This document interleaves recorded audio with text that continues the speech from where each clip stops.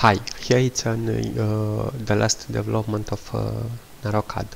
I would like to show to you a nice to use and uh, I think useful tool. In the past, and if you do a constraint, I will show to you.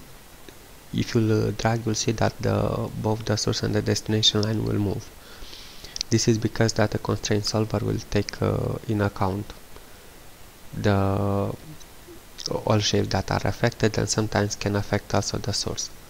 For, for this reason, uh, new constraints are implemented and uh, the constraint I want to uh, uh that it's really very useful to use is that you can lock some points.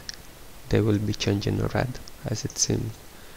It's visible here and uh, if we'll uh, do it again with so we'll go again to draw the line we'll see that the source line will never change just the destination line. So in, in this way the everything will remain much more uh, clear and not everything will move around.